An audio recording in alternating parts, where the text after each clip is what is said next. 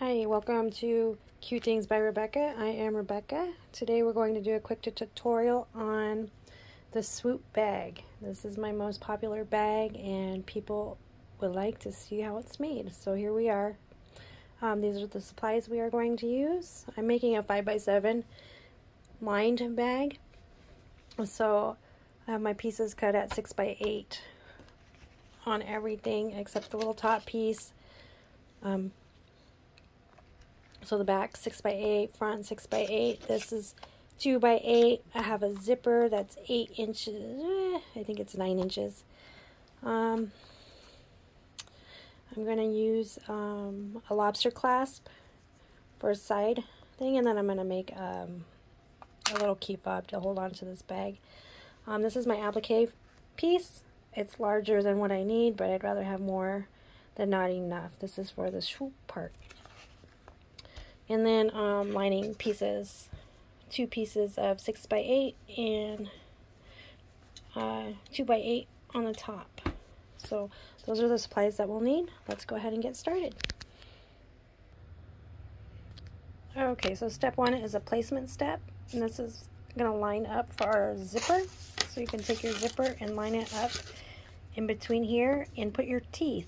Line it up with the center line right there and secure it with tape and then run the next step which will secure the zipper onto the stabilizer. Okay, now that my zipper is on the stabilizer, the next step is going to run a straight line for the top.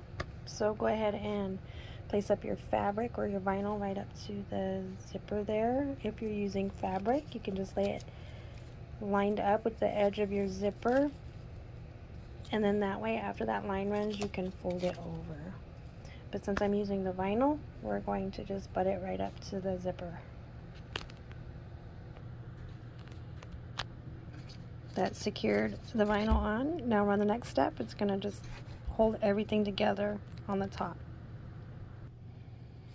Okay now the next section is just like the top just at the bottom. So go ahead and run those next two steps So now that everything is secure, the next step is a placement step for your applique. It's step seven on the design. So go ahead and run that and it's just going to show you where to place your applique fabric. There is a placement for your applique. Now take your fabric and just make sure it covers that entire placement. And then you're going to run a tack down. It's going to tack down your fabric there. Now that your applique fabric is tacked down, we're going to trim only this section right here, okay? Do not trim the outer portion, just where the satin is going to, to sew. I'm going to do that and I'll show you what that looks like in just a second. Okay, I trimmed right up to the line there and I left everything else untrimmed. You want to do that because um, you want to trim this at the end because sometimes this will pull away if you you trim it too close and you're turning your bag it will pull away from the the stitching there. So just keep that in mind when you're making applique. So let's go ahead and run the satin stitch now Okay, the satin is done. Now um, there's a decorative stitch that I'll go ahead and stitch over that. So I'm going to run that now. Okay, that is done now. It's going to make a placement step right here for your tab. And then after that, um, we'll put the tab on. There's the placement for the tab. So now you want to take your tab if you're going to put a side tab on. And today I'm using a lobster clasp. dropping everything. I only got one hand here to work with this. Um, so just line it up to however you like it and secure it down and then it will um, stitch and hold it down. Just make sure your raw edges are on the outside of the bag pattern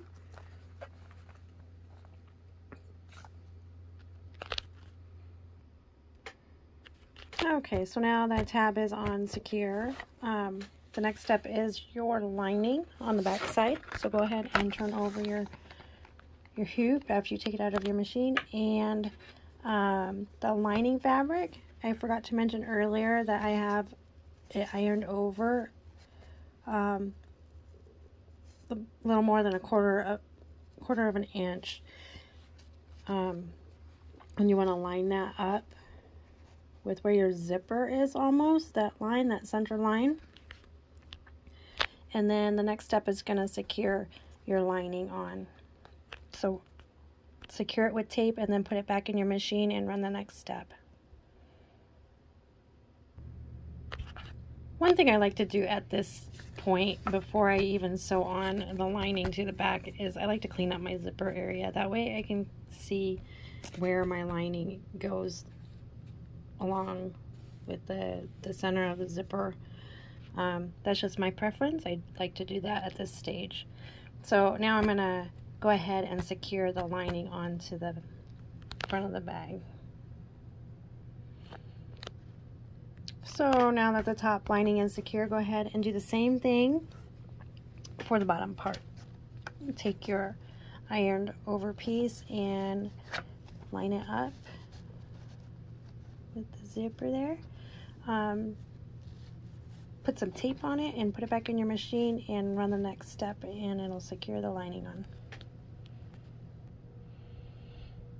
So the lining's all secured on. Um, the next step is, oh, we're almost finished, to take your zipper and slide it open. I'm going to do that in a second when I have both hands. And then take your main back fabric. Get my pretty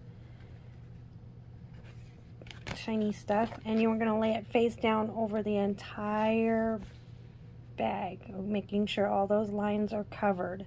And you're going to put it in the machine and it's going to run the whole outline for you.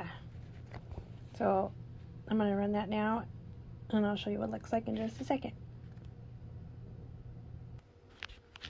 Okay, now that that step is done, go ahead and turn it over to the back side and put your last piece of lining fabric um, pretty side down and secure it with tape and run that last step. We are almost finished. Okay, so we are done with the embroidery part of this now. Um, go ahead and remove from the hoop and get rid of all your stabilizer and we're going to trim. And when you trim this little opening here just leave a little section here so of fabric so you can sew it or iron it um, or glue it or whatever you'd like to do to close that up. But we are going to turn through that One other thing I like to do is I like to leave the zippers a little bit longer because when you're turning your bags, they pull and sometimes your zippers, if they're cut short, will come right out and you'll have to undo your bag and sew it by a sewing machine. So we want to prevent that from happening. So I just leave the zippers long too. So see how we did that. So let's go ahead and flip our bag over, see what it looks like. Okay, so this is the first step of when you have a lined bag, you turn it through the lining. I'm going to go ahead and glue my um, opening shut now.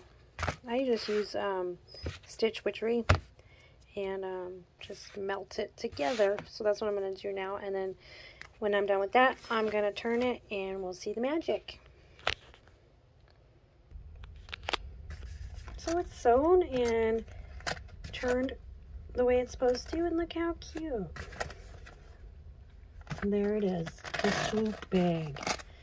All lined and ready, ready to go. The cute little zipper pull. Everything in that I used to make this bag was from Sweet Tea Stitches. Uh, Sweet Tea Stitches. I can't even talk tonight. The vinyl, she's got a new line of vinyl it's really great. I'll drop the links in the um, comments down there. Um, the black vinyl, her little zipper pull. Okay, the lobster clasp and the zipper is not in the fabric, but the vinyl and her little zipper pull.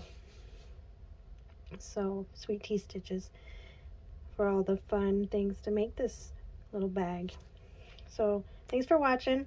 Hope you enjoyed it.